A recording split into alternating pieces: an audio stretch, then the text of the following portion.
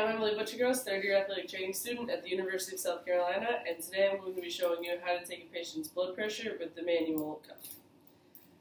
To start, you want them in a seated, relaxed position with their right arm exposed so you can put the cuff on.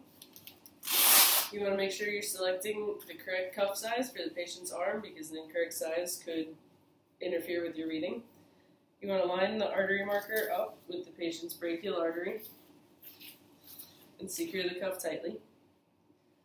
Next, you're going to put the stethoscope in your ears with your earpieces facing your nose, and using these two fingers, locate the brachial artery in the stethoscope.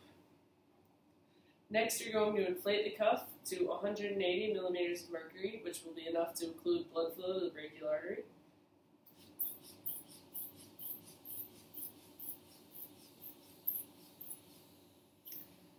Two sounds you're listening for are the systolic and diastolic blood pressures. The systolic blood pressure is the first sound you hear.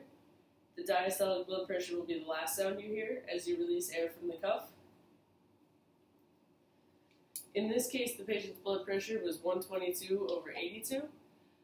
Uh, normal blood pressure is anywhere 120 over 80.